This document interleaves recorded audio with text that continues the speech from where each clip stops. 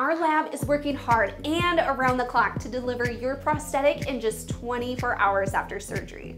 You'll be checked in by our amazing care coordinators and be brought back to your room. Measurements, photos, and a scan will be taken after your team places your prosthetic. Get ready to feel all the feels and smile big because you are about to experience your big grand smile reveal. If you brought any friends and family with you, now is the time where we call them back so they can share this moment. Stay tuned for part five to learn what to expect just two weeks after dental implant surgery.